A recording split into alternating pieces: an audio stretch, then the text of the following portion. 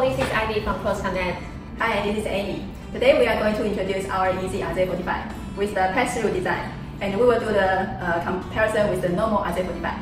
Yes, so later Ben and Murphy will join us to find out which connector is easy to use or with better performance today. Yeah, we will use our Fluke to test it. So let's find out the result. Okay, let's go. Okay. Hi, this is Annie. Ivy. Uh. This is Ben. We are ready for the competition. In three, two, one, let's go.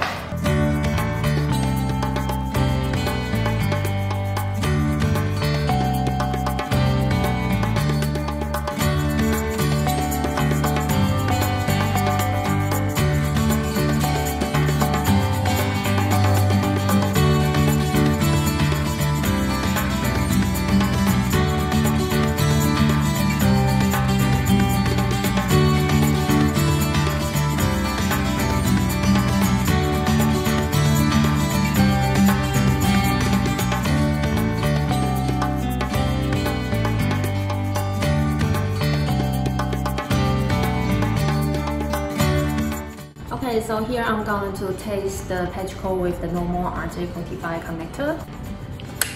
Okay, after you select the uh, the limit and the cable type and you press the button to test the performance. Okay, so the performance is not good. So I'm going to test another patch cord with the Easy RJ45 connectors. So now I'm going to test the patch cord with the Easy RJ45 connector.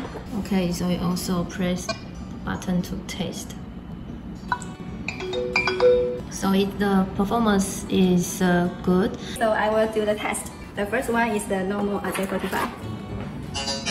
Okay, so we found the problem is the the wire position is wrong. And then I will do the next test for the easy RJ45 patch cord. Okay, so the result is the next is 0.5 dB it passed. And now I'm going to test with normal RJ connector with Fluke. And it fails with next minus 5.9 dB. Now I'm going to test with the pass-through connector. And it passed with next 1.5 dB. Now I'm testing the normal plug. No. And the next is minus, so it's failed. And now we are test another easy plug. So the easy patch cord is passed. Hi, this is Annie. So we finished today's competition and we finished 8 piece patch cord. So there are uh, 4 piece passed the fluke test and 4 piece by the normal RJ45 uh, failed the fluke test. So Ivy, can you share us the benefit for the easy RJ45 connector? Easy RJ45 features easy to assemble and you can also check the wire position before you print and the performance is also very great. So this is connector is very recommended to use in uh, installation. So you, do you like our easy RJ45 connector? We like it! So today we have finished the comparison.